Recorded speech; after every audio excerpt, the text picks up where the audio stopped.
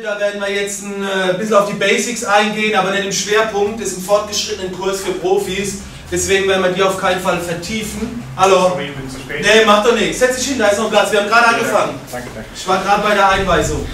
Ja, und dann geht es die, an die Beauty-Retusche. Das ist somit quasi der Hauptteil der heutigen Schulung.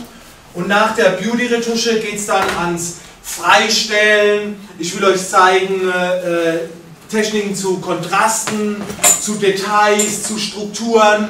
Dann natürlich Bildlooks, was man so in der Werbung eine einsetzt. Maus. Ja, eine Maus! Ja, eine Maus! Bruder! Wieso hast du eine Maus? Bist du... Pack die Maus weg! Pack sie weg! Ganz vorsichtig! Tu die Maus in die Tasche, bitte! Weg mit der Maus! Du kannst auf so einen Profi-Workshop kommen mit einer Maus! Wir arbeiten mit Stifttablett! Pack sie weg! Nein, nicht immer mit der Maus! Kauf dir ein Stifttablett! Bitte pack's weg! Nimm dein komisches Ding da, das Kleine und raus! Raus aus dem Atelier! Raus ist was für Profis! Du kannst nicht hier mit einer Maus! Bist du irre? Raus! Raus aus dem Atelier! Ne? Profis arbeiten mit dem Stifttablett. Raus! Bitte, setzt euch wieder.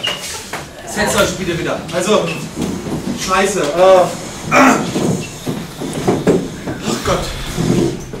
Also, es tut mir echt leid. Also, mir ist sowas noch, noch nie passiert und ihr kriegt euer Geld zurück. Also, sorry.